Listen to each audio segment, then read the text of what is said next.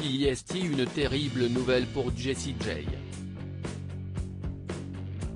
Mercredi 24 novembre 2021, la chanteuse s'est saisie de son compte Instagram pour annoncer une triste nouvelle, elle a été victime d'une fausse couche. Hier matin je rigolais avec une amie en lui disant comment vais-je aller à mon concert à Los Angeles demain sans dire à tout le monde que je suis enceinte? Hier après-midi je redoutais vraiment de terminer le concert sans craquer. Finalement après avoir fait mon troisième scanner on m'a dit que le cœur du bébé ne battait plus a expliqué Jessie J. Dévastée, la jeune femme a confié ne plus contrôler ses émotions depuis cette terrible annonce.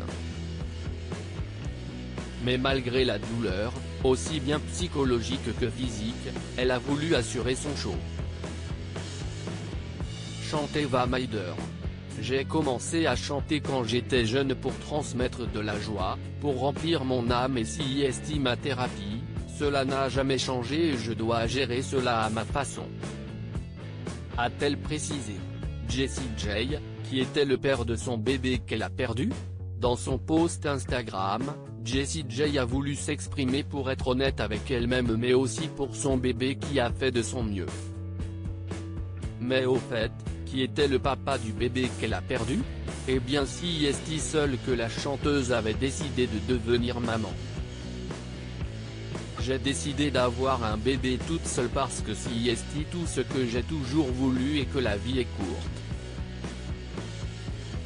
Tomber enceinte était un miracle en soi et une expérience que je n'oublierai jamais et je sais que je la reverrai.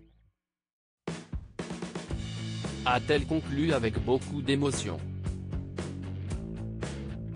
Une épreuve difficile dont elle espère se relever grâce au soutien de son public toujours présent. Loading